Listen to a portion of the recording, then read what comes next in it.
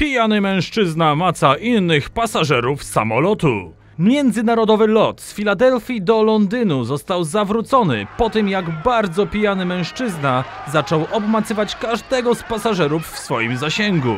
Robert John Kupak, obywatel zarówno USA, jak i Wielkiej Brytanii, nie mógł doczekać się imprezy w Londynie i zmusił pilota do zawrócenia samolotu po niespełna godzinie lotu.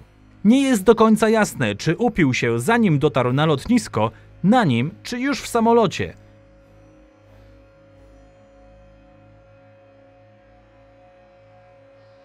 Pewne jest jedno: nawalił się jak wieprz. Kiedy inni pasażerowie układali się do drzemki, on miał inny pomysł. Pora na macanko! Kiedy dwie kobiety siedzące obok niego zgłosiły to załodze, stewardessy przesadziły go na tył samolotu.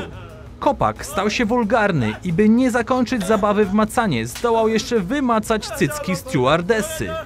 Wtedy swoją tożsamość ujawnił policjant pracujący w ukryciu i skuł mężczyznę. Pilot zawrócił samolot niespełna po godzinie lotu.